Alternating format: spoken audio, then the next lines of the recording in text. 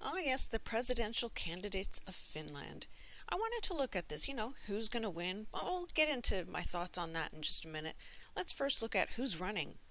Could any of them be in these clubs, right? That we always mention, even here in Finland, the Order of the White Rose.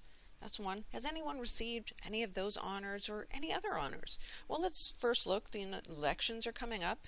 Pre elections uh, is on Sunday. It just ended. And elections will be on the 28th of January. Those are all the candidates right there.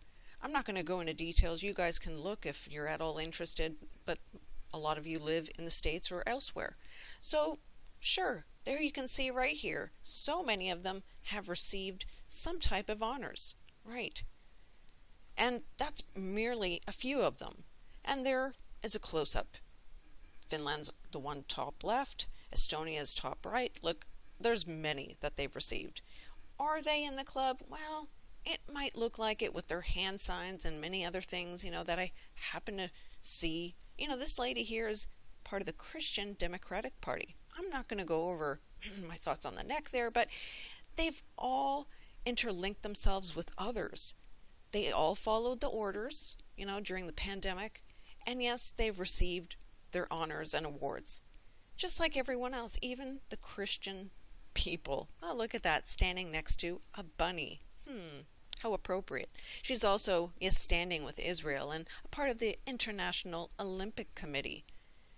Tell me she's not in the club, just like all the others, right? Yes, every one of them. And this one, the one I'm thinking has received quite a few honors, might be the one winning, but hey, I don't know.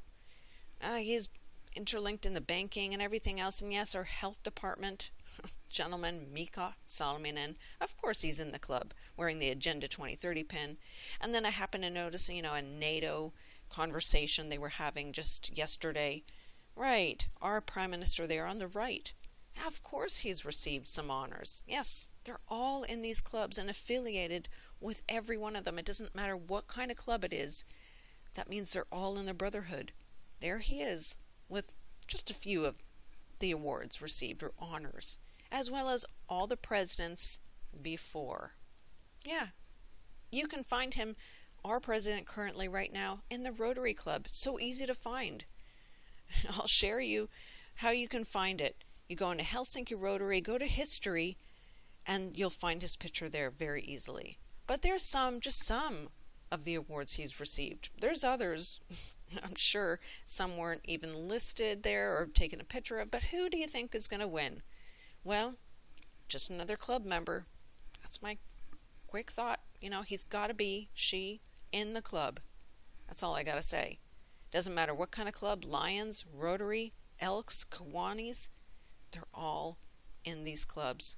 Well, we understand that. Just had to go over it just in case somebody was confused on who might be winning, especially here in Finland. I'll share the pictures or short videos as the days and weeks go on, but just wanted to go over that with you guys. Share your thoughts, comments. Till next time, have a great day.